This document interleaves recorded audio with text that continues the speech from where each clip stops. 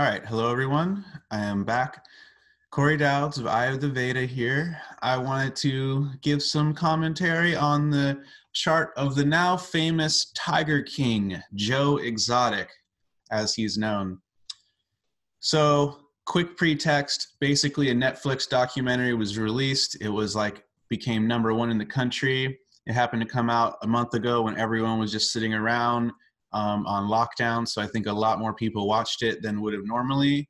Um, I watched it too, and I don't normally get interested in these things, but I just felt drawn to watch it for some reason. And um, there's definitely some really cruel things that you know you see some cruel footage of animals just so you know so if you're very sensitive here you may not want to watch this documentary um, there's a lot of drama and stuff in this documentary so i was like i mean this this guy if you watch the documentary you know if you don't know, this video may not be as interesting to you, but you know, it's basically this is the chart of the main Tiger King in the documentary, and this guy is a really interesting character.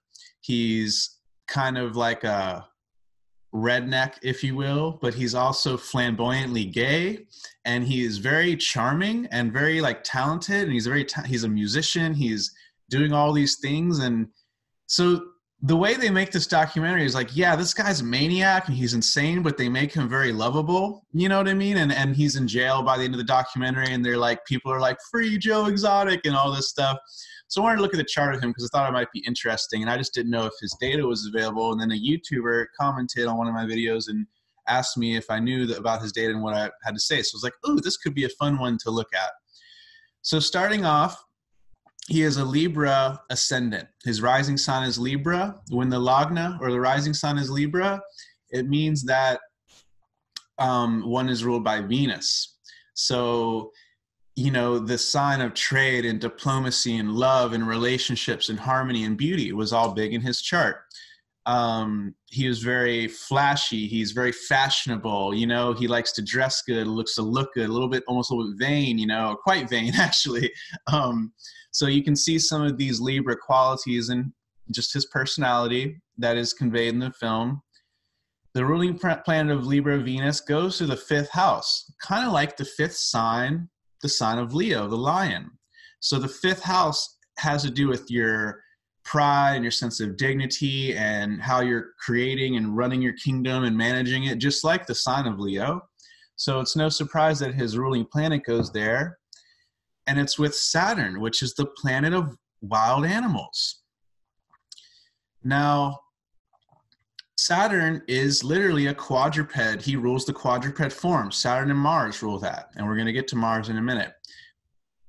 So Saturn is delighted by his Venus, but then at the same time, Saturn is starving his Venus. So with by knowing the Avasthas, if you know your Avasthas, you can read a lot into this placement and understand why he was the way he was. And then with Mercury there, Mercury too is delighting the animals, Saturn, but then Saturn is also starving Mercury. And then from the standpoint of the animals, Saturn is the animals, the moon is starving it very strongly. That moon in the 10th in its own sign, his ego, starved the animals and harm, caused them to be harmed eventually. Mars also starves Saturn, that planet, um, from its opposite aspect. So we see that on the one hand, Saturn is showing good karma, animals in the fifth house of good past life karma. So he had some merit to have good karma with animals. And what's really fascinating is Aquarius, as well as the 11th house, has specifically to do with animals you raise for monetary gains. So basically, like livestock in the old days but for him they weren't livestock but he still made money off of them so that has to do with that sign of aquarius and his 11th house which has mars in it. I know you guys just can't wait for me to get to that but just hang on. Um, so the next thing that's really important to know is that venus his ruling planet is being ashamed by saturn the planet of animals. Um, and saturn is shaming venus and mercury in this in this chart. Um, I just did a video on Mercury being ashamed, so go watch that if you want to know more about it. And Mercury um, being ashamed, um, deals a lot with like just the the type of lifestyle he wanted to live the type of things he wanted. He was a gay man you know he, he just he wasn't he was kind of ashamed for for the lifestyle he wanted to live um and what you know he was into and everything. Um now let me look at my notes here. Um so yeah now we can talk about the obvious thing in the chart is well before i go into that notice that jupiter is very strong. Jupiter is in pisces um, with his sun delighting his sun but it is in the sixth house which it makes it very stuck and hard to work with. So he was very he tried to do good and he was a good hearted guy. And he when he did bad it wasn't because he didn't think he, he it's because he thought he was doing the right thing but he was just misled or um, you know, or kind of deluding himself. But so, anyways, that Jupiter in Pisces kind of does speak to the um, a lot of his his charmingness, why people liked him in the in the end documentary, even though he did a lot of atrocious things and all. Um, it's just kind of interesting. I wanted to mention that. Okay, now we're going to talk about the obvious thing in the chart was like my hypothesis before looking at this chart was that this guy better have planets. He better have at least something going on in Leo some sort of argala, some sort of yogas, important yogas going on, and he better have planets or activity involving Mars and Saturn, the quadruped planets, the, the planets of beasts of burden like lions, and he better have the quadruped signs active, which are Aries, Capricorn, and Leo. These are the signs of big animals and quadruped, big, big things going on. Note that he has that going on. He has Ketu in Capricorn, so that's really what he wants to make himself happy in the fourth house. He wants that sort of power that animals symbolize.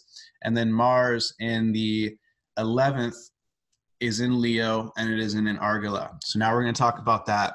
So Mars is when a planet's in the 11th house and there's no other planet in the third house, it's in an Argala, an unbroken Argala. Argala means a fastened lock, like in Sanskrit, like when you when you button your shirt or something, you you you lock it in, you argala. So Mars, he had this karma with Mars being delighted by Leo, the sun, the lion. He had a fastened karma to that, that he was fastened to from birth, his argala. Argala planets bring you wealth in life. Him owning tigers brought him his fortune and his fame and his wealth that's that's what that's what Jaimini would call it. You know what I mean? That's what that is. Um, let's look at a little more. So Leo specifically deals with wild beasts of prey, but specifically wild cats. So that's really cool. And like I said, Mars represents quadrupeds. Um, so beasts, animals that walk on all fours. And to top it off, like if you read Graha Sutras, you know, Ernst even talked about in there, uh, Mars would rule the tigers and the lion like quadrupeds that are fast. And then Saturn would rule naturally more of like the elephant or the big beasts of burden, slower, like an ox, a work animal, a tortoise, things like that, that are slower and, you know, have more of a Saturnian quality. So having Mars in Leo in the 11th house and in Argala, is about as perfect as it gets to have to to convey this life that we watched on the Netflix documentary. Why do I keep talking about the 11th? Again, remember the 11th house, if you read Parashara, the 11th house is the specific bhava of livestock, which is to say animals you make a profit off of, not pets. Pets and pet animals are the fourth house. A lot of people don't know that. Pets your animals. Like when people i've had a client ask me where are my lost snakes? before. I helped her find her lost snakes. I used the fourth house for pets. But if they were pets she made money off of i would have used the 11th house. And then if they were wild animals i would use the sixth house. So wild animals is the sixth house. Everyone always just assumes all other animals are going to be in that category but they're not. Okay sorry. So now back to yeah mars is literally symbolizing the tigers and the lions, and they're in the house of making money and all that stuff. Um, and what's funny is when you have cruel planets in Argala, you make money through cruel ways, through like, uh, you know, basically, if you watch the documentary, there's a lot of Krura or malefic kind of influence in his life. Then what's also really crazy is that that Mars is in Aslesha Nakshatra, and Aslesha is the nakshatra of poison, but also embracing. And he basically forced tigers to mate. He based like Aslesha has to do with um, sexual embracing, but also embracing of all kinds, but kind of in this cruel, toxic, lusty way is always what it's more conveyed by, like um, like snakes coiling up, you know what I mean, and things like that. Um, uh, so he basically forced tigers to, you know, copulate and make babies because then like the tiger babies made him all the money you know what i mean? And um, so that's wild and that's a cruel effort. And then he also used all kinds of drugs and sedatives and poisons and aslesha like toxins and chemicals to be able to control these tigers and so we see that in the aslesha energy and again that mars is retrograde like i've said before retrograde planet shows there's even more past life karma to be worked out with it but it's not something super faded like um, Rahu or Ketu. and then also having an Aslesha kind of brings up just background themes of like a lot of sexuality, a lot of lust, uh, poison, drugs, jealousy, and betrayal. And these are all huge, huge themes in that documentary. So it's really interesting. now, another thing that's worth mentioning to jump back to the the Venus in the Aquarius part, Venus is uh, starred by Saturn and shamed by Saturn, and that's a place, but it's also delighted. So it's like a place of showing some happiness with love, but also being uh, having your heart broken and loss of love and multiple marriages, and or feeling ashamed over what one did with their love or the choices they made in love. And if you watch the documentary, there's a really, really, really dramatic thing that happened with his first husband and I won't go into it though because it's very gnarly. But yeah, that's what that connected to, and the trauma of that, and then why he just remarried quickly um, and couldn't deal with that shame and everything um, of what happened around that. Um, and it's also really interesting because it's all happening in air signs so that conveys that he is the topic of social controversy that it's a very it's you know the whole world was talking about it socializing about it you know and then Aquarius also to do with influential people. And then um, to take that even further, Saturn, that proud Saturn, um, is in Dhanishta Nakshatra or Shravishta Nakshatra. The older name was literally, the older name of that Nakshatra, Shravishta, means literally, Ishta means like praise and favor, Shrava means to talk about. So the thing most desirable to talk about, the thing most worthy of talking about.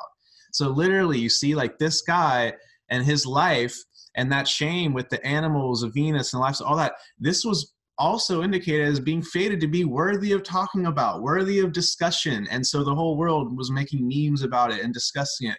So even if you're going to be one of those famous people who's the subject of memes and pop culture, that's going to be in your chart. Um, and you can kind of see it there there's really a lot more that I want to say about Dhanishta and Shravishta, but I keep holding off because I'm making a course about it and I just know some really cool secrets about a thing I've found through my own research. But that's definitely a star of making you really famous and influential, I'll put it that way. Um, and then notice how Ketu is in Capricorn. How fascinating is that? Because Capricorn is where the eclipse has just happened. So this must have been fated for him to become such a number one documentary in America and such a big topic. But Ketu in Capricorn also shows that his security paradigm is about being Capricorn. Capricorn is the gator. It's about dominating. It's about literally the sign of having control over things externally. So he was all about controlling the lions or this or that, you know, and having like that's this this what the lion conveys has a lot to do with this idea of control and domination, you know. But Rahu was in Cancer, um, so really, and with the moon, so you know like embracing more being vulnerable was what he was destined to feel like to embrace his vulnerability to embrace his emotions his femininity and all that. And by the end of the documentary he's just crying a lot. He's so sad. He's he's swept up. He's been forced into that rahu zone. So it's very interesting. Um, and then one more thing i will tell about this is that uh, saturn and rahu are in the swamsha um, I'm not sure if you, you hope you guys can see it right there, but Moon, Saturn, and Rahu are all in the Swamsha. That's a. Saturn, Rahu, and the Swamsha is a placement Jaimini gave for selling and consuming betel, betel leaves like drugs. So it's a placement that still translates into the modern day era of selling or taking drugs. And this guy, his first boyfriend was a meth addict, and so he he or husband, so he like had meth, so he kept that that boyfriend with him through being his connection to get meth and stuff. So it's really wild. Um, but you can see that going on. He definitely did sell and take hard drugs. Um, you won't see that placement if it's just like, I don't know, like I've known people that sold weed or things like that, and I didn't see that in their chart. So that's a thing that's more serious drugs though. If you're if people who are selling like hard drugs or pills or things like that, um, you'll see that in their chart. Okay, and then one more thing um, that I noticed Moon is the Atmakaraka, and Moon makes one a musician, and he literally made music videos. Um, and, and he's a, he was a successful musician. And it was part of his rock star karma, and he made albums and was actually had successful music videos that were well produced and all this stuff. Um, and it, it also makes him very popular too. And we saw how popular he was, and um, you know, like that was all good for him to step into his emotional body and all that a little bit more. So that's just a little analysis of the Tiger King for you guys, and I hope you all enjoy it. Thank you very much.